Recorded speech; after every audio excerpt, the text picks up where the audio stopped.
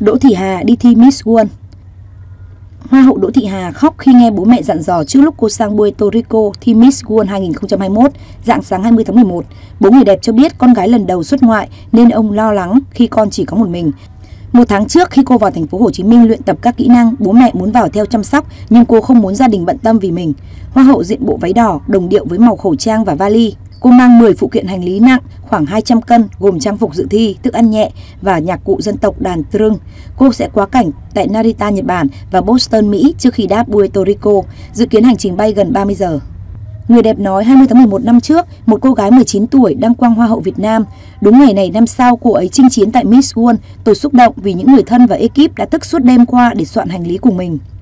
Trước đó, hội chị em Hoa hậu của Đỗ Hà như Tiểu Vi, Phương Anh, Ngọc Thảo, Kiều Loan cũng tổ chức bữa tiệc nhỏ để tạm biệt cô tối 18 tháng 11.